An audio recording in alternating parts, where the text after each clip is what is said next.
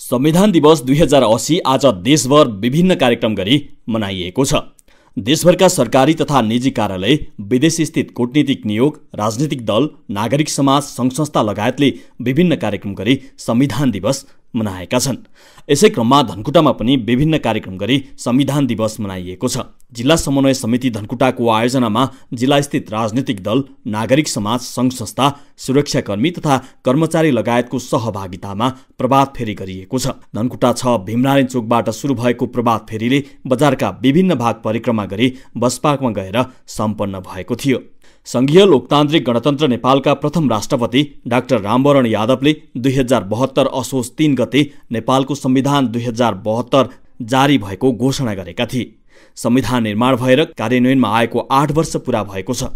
नयाँ संविधान लागू भएको घोषणासँगै नेपालको अन्तरिम संविधान दुई हजार त्रिसठी खारेज भएको थियो। संविधान जारी हुँदा संविधान सभाको अध्यक्षका रूपमा स्वर्गीय सुभाष चन्द्र नेमाङ थिए। समाजवाद उन्मुख सङ्घीय लोकतान्त्रिक गणतन्त्रात्मक शासन व्यवस्था लगायतका नयाँ व्यवस्था राखिएको यो संविधान जारी हुँदा संविधान सभाको प्रक्रियामा सहभागी दलका पाँच सय सडतिसजना सभासदले हस्ताक्षर गरेका थिए। धनकुटामा आयोजित प्रभात फेरीमा उच्च अदालत विराटनगर धनकुटा इजालसका मुख्य न्यायाधीश रामबहादुर थापा मगर न्यायाधीश पूर्व तामाङ पूर्व सांसदहरू जिल्ला समन्वय प्रमुख उपप्रमुख प्रमुख जिल्ला अधिकारी जिल्लास्थित राजनैतिक दलका प्रमुख सुरक्षा निकायका प्रमुख तथा प्रतिनिधिहरू विभिन्न सङ्घ संस्थाका प्रमुख तथा प्रतिनिधि राष्ट्रिय सेवक कर्मचारी तथा स्थानीयहरूको सहभागिता रहेको थियो। त्यस्तै जिल्लास्थित विभिन्न पालिका तथा सङ्घ संस्थाहरूले पनि यो दिवस विभिन्न कार्यक्रम गरी मनाएका छन्।